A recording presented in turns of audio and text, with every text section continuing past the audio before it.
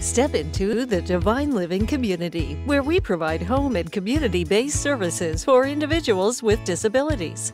We are currently hiring direct support professionals to work with developmentally disabled children and adults. Join us not just as a professional, but as a family member. We believe in a home like environment and building a strong, supportive community. Make a difference in the lives of others. Apply today at divinelivingne.com. Good evening. Good morning. Welcome to InLight Connections. We're glad you came and joined us again this week. Today we are uh, with our guest um, from Divine Living. So, first of all, I would like to introduce myself. I'm Marilyn McGarry, and I'm the host. And my co host is Apostle Laretha Mayberry. And then our guests are from Divine Living. We have um, Director of Operations Tiffany McGarry and her son, Executive Director Deshawn McGarry. And they're both also the co founders for Divine Living Inc. And thank you, and we're happy you're here. We thank you for accepting our invitation to come and, and talk about the services you provide in our community. Of course, of course. So, first of all, it would be nice if you two could uh, tell us a little bit about yourself. All right. Well, um, Tiffany McGarry. Um, we uh, own, co-own uh, Divine Living together. Um, I am a mother first. I say I have um, three boys. One 20. My oldest one is right here, 25, 21, and a five-year-old as well. Uh, I have a degree um, in uh, at, from Bellevue University in Human Social Services. Um, I have over 15 years experience um, working with individuals with disabilities. Um, we've had our business for over about three, three and a half years now. Okay, good. Good Awesome. you. Awesome. Welcome again. And Deshawn, tell us a little bit about you. Who are you? So yes, I'm Deshawn McGarry. I'm the executive director and co-founder at Divine Living, and uh, more of my background is in like business and finance, and I, that's kind of what I bring, I guess, to the table with the business. Um, I would say that my mother, she has more of the um, the education with the social work and uh, human services. Um, so I just kind of was an aid to kind of get things started, but kind of found myself uh, doing really well uh, within the social services industry. So kind of stuck here, but um, I also do some other things with um, nonprofit organizations like Change of Omaha. I'm on the board of Sheltering Trees, and then I'm also a part of Omega Psi Phi Fraternity Incorporated, where we do all kinds of um, things in the community. And I'm I also lead our mentoring program. Awesome. Awesome. What is the mentor program called? Omega Squires mentoring program. We're at Omaha North High School, and hopefully we will be at all the schools in the Omaha Metro as far as high school, and then we'll work our way down to some other middle school or other ages. So yeah, Yes. that's I great. think you start young, it mm-hmm, helps, mm-hmm, doesn't it? Mm-hmm. Yes, Well, it sounds like you two bring a wealth of experience and knowledge together and are very compatible, which is good. Things that you're not able to provide, Deshawn does, and what Deshawn does, and Tiffany does. Perfect. Tell us a little bit about, about how it all began. How did, where did Divine Living get its evolution or its birth? yeah. Well, you want to start or? Yes, so I I'll guess let I, start. I guess I can start, and then I'll let Okay. uh, my mother Tiffany kind of tag along with. but we were founded in February 2021. Uh, we began our business, Divine Living. Uh, I don't. I, it's kind of happened a little bit by accident. I think Yeah. we didn't really imagine Did uh, having a full-on business. We had just wanted to kind of get in the industry and provide services.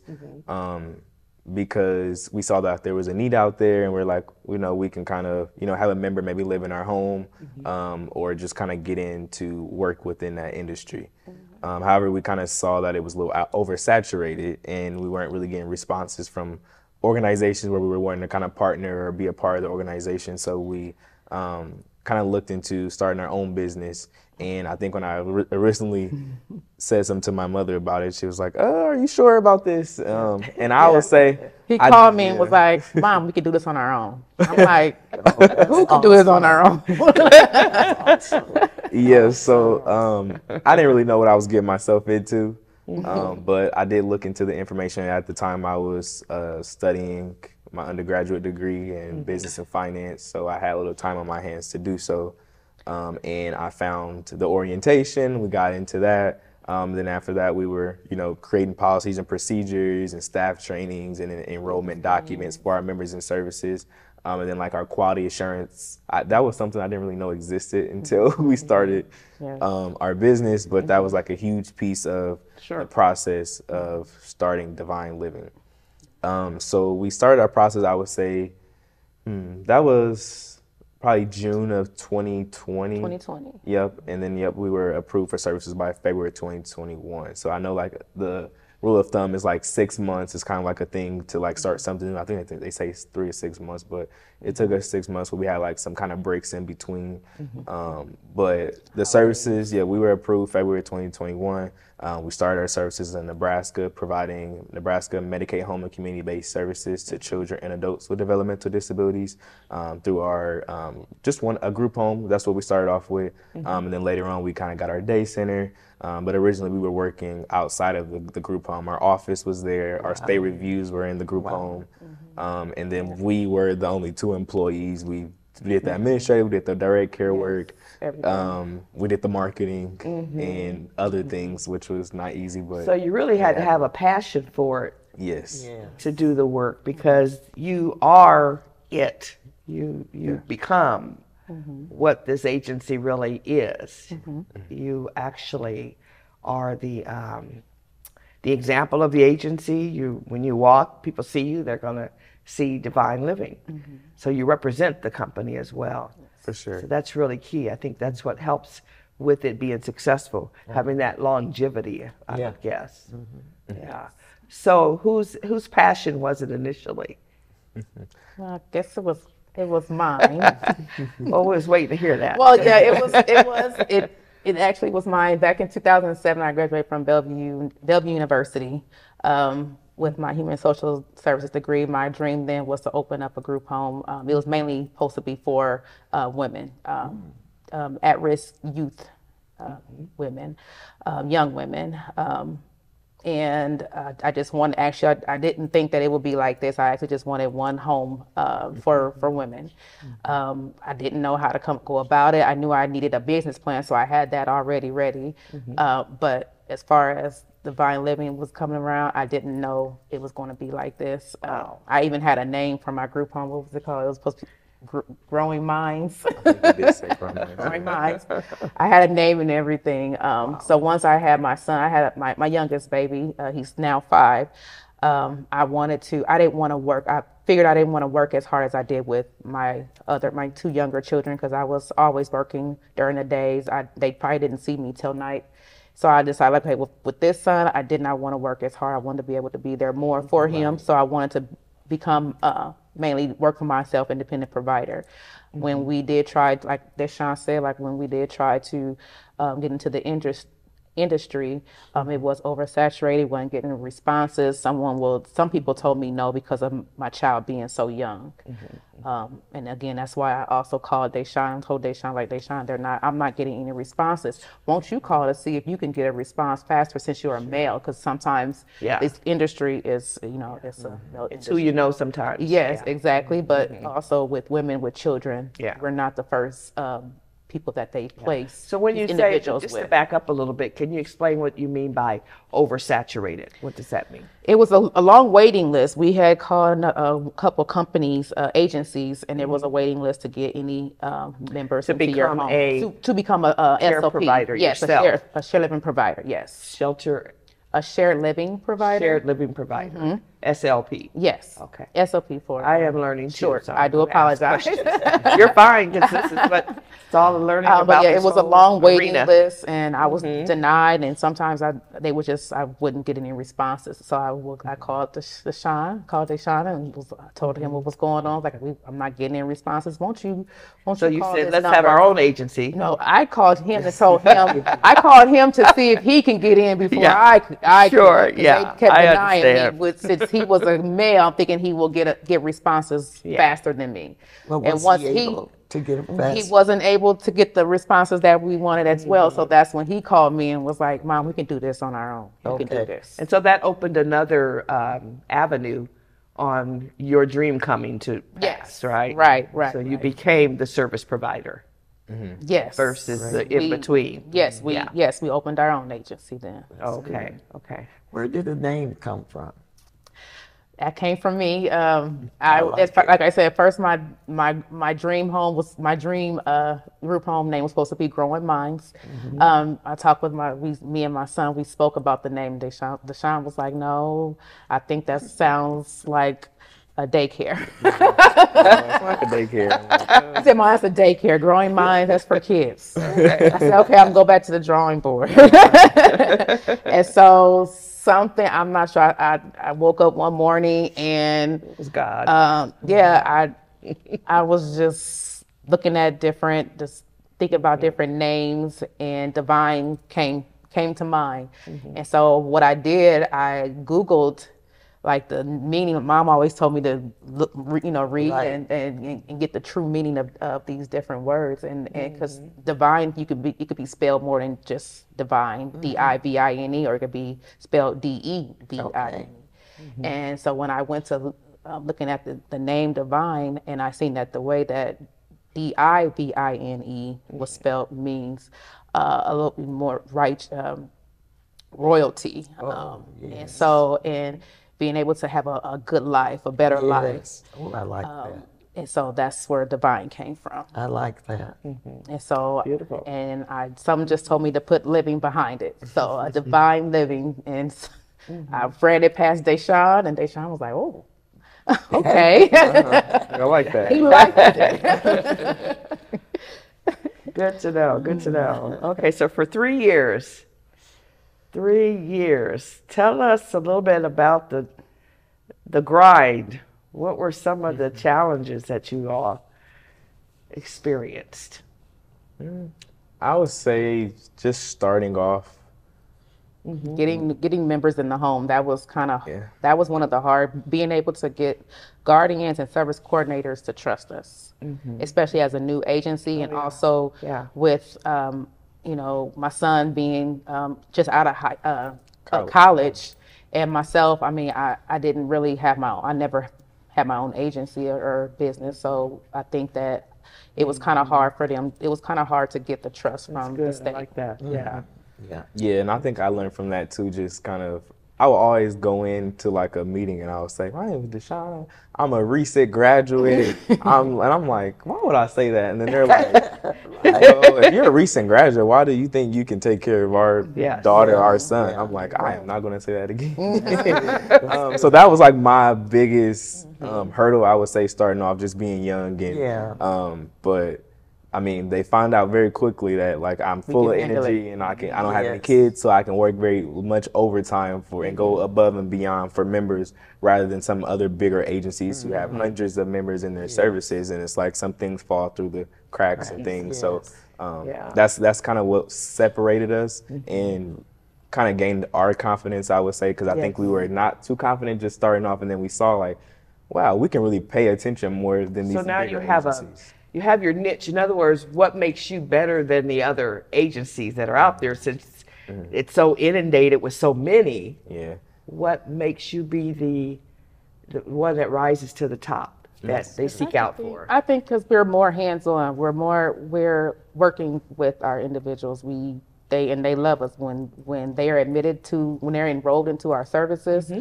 Uh, we have a meeting. We have there's an intake process, and we get to meet everyone. We are we are involved in that process, and they're able to see us and meet us and gain our trust that way. Yeah.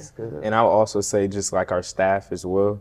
Um, we take care of our staff really well. So like if they need like a day off, we'll be flexible with them on on that or leaving early. I know like how Walmart or different bigger organizations, if you you point out after that fourth th- time, then you're out Yeah. of there and there's kind of no rebuttal on that. So I think that we're we're very flexible with our staff. Um, the Not training that we give as well to just So kind you of see it as a, keys. a partnership. You're there to help them be successful as they're there to be a part of the team. Correct, To help you be successful. Yeah, that's, good. Great. That's good. And I'm part of that that training process. And so, with me having the years of experience that I have Mm-hmm. with the, the different agencies that I was with before, I'm able to pass on um, Yeah. all the knowledge That's that I good. have to them. You've, you've learned. Yes. Oh, I've the learned. Yeah. Things not to do and, and what to do, what not to do. You know, Yes. yes. sure. Did you have a question that you in this area? Okay. Go ahead. Okay, so let's talk about more um, what the services entail. You, you mentioned SLP, right? SLP is called Share Living Provider. Yes. Share living provider. What what does it? What do you do? What do you do? What is it you provide? just kind of all of our services. So we provide just like our the Medicaid home and community based services Okay. to children those with developmental disabilities. So we do that through like a group home setting, um, and then we also have like she stated like the shared living services where that's more of in um, like a family's home and they have placement in their home. So that was something we were trying to do, and we were trying to have a placement in our home at the beginning. So that's the shared living that's the shared living placement. Right. So you have you oversee the home, Mm. and they have their own. They have the individual in their home. So it's usually a relative or it's just a a patient, Um, client. Well, there's a so there'll, it'll be a trained staff, but that trained staff will be an independent contractor with the organization. Okay. And so if say that you're an independent contractor, and you have an extra room where you want to take someone in Okay. into your home, and for them to live in your home, you'll just be responsible for them. Kind of similar to foster care, but a little bit more intensive with the services. Okay. Um, and then we also do day services as well. Uh, we started off in Nebraska with all of our services, but we have expanded into the state of Iowa. So we're inside of Nebraska and, and within the state of Iowa with those services. Okay. So that's the main Those are the of the main- services. Yeah, we're approved for about over 20 to 30 services, but Right. we just, those are our main ones, I would say. Yeah. And this is under, uh, you're certified under the state of Nebraska. Which division is it? It's the uh, developmental disability uh, DD department. waiver. Yep. So the DD waiver. So we have um, we're approved to provide AD waiver services, CDD waiver, um, DDAD waiver, um, and then in the state of Iowa, we are certified to provide ID waiver services and then brain injury waiver. So ID stands for intellectual disability, and then BI is the brain injury waiver.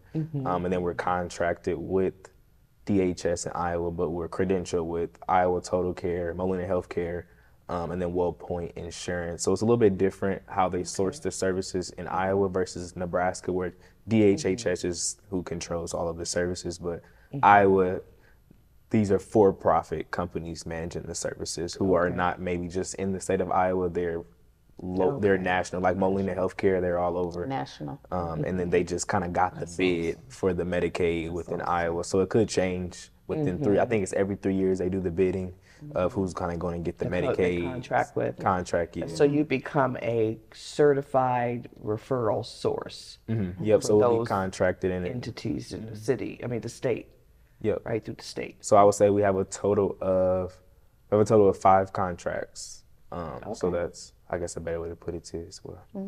Five contracts with Just Iowa total, or- just total. So Nebraska, total. we have our DHS, and then with Iowa, we're credentialed with Iowa Okay. um, DHS, and then we're credentialed with Iowa Total Care, Molina Healthcare, and then WellPoint. So that's the Yeah, five. that sounds when you say contracts, because I used to work for the state of Nebraska at one time. one of those top, top jobs, and I don't know a lot about other divisions, but when we talk about contracts, that's pretty lucrative. That's pretty. That's a, a higher level of trust. Uh, and so I know you've been through some challenging surveys, credentialing, uh, being certified, you know, and things like that. And is that something yet you're still? How does that process work? Is that ongoing or?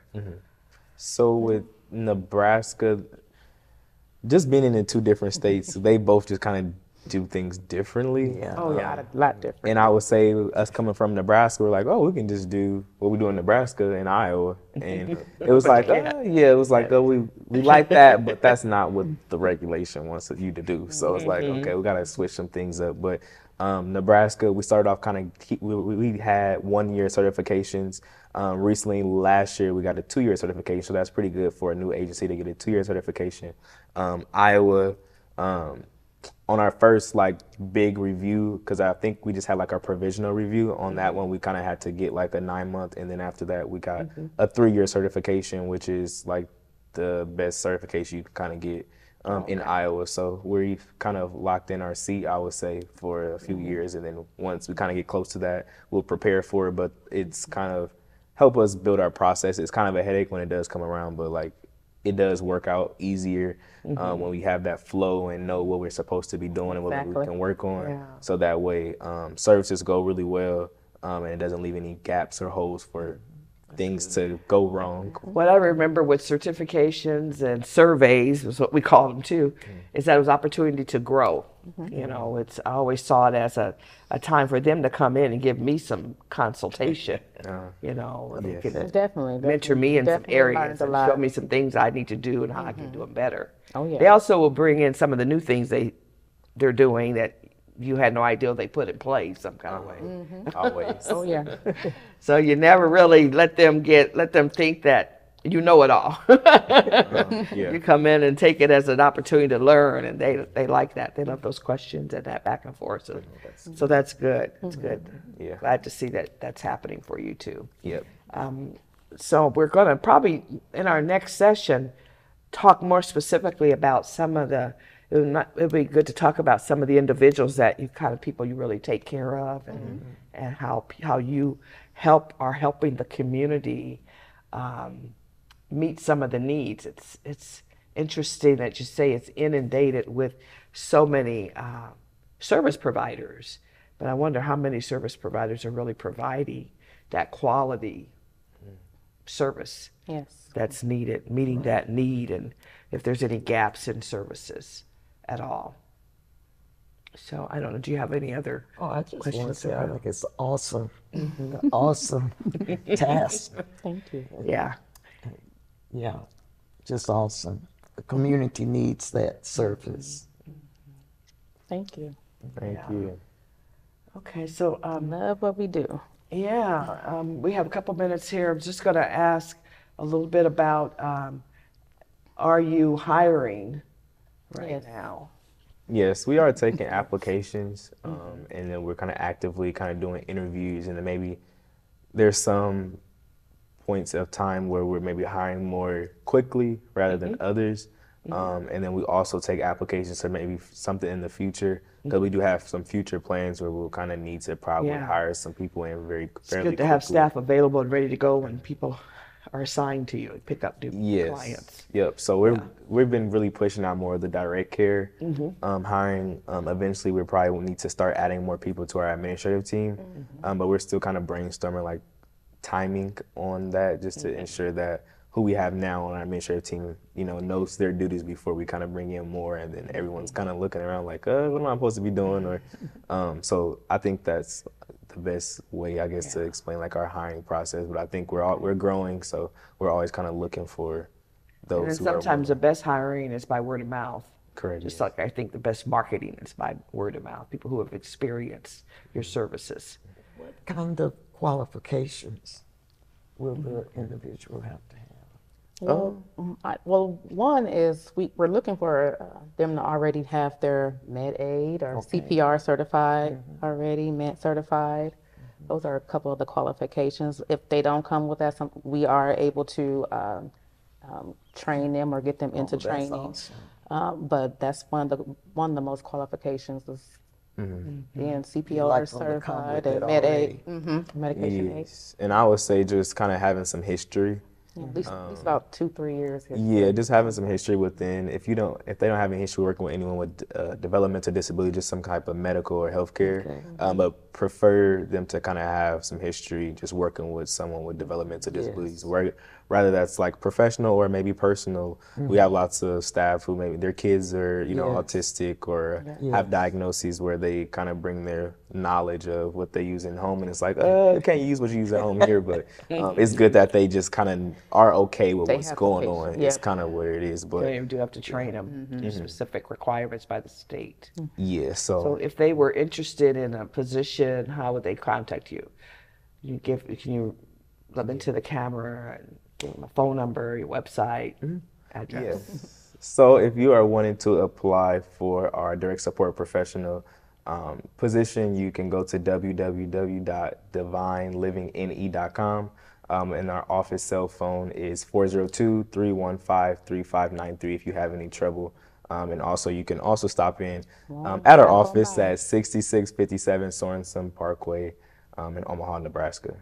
Okay, thank you. Between the hours of nine and five. Nine to five, Monday through Friday. Monday through Friday. I'm sure they're going to put that on the screen for us as well. So we thank you for this uh, opportunity to talk with you and discuss div- and talk about divine living.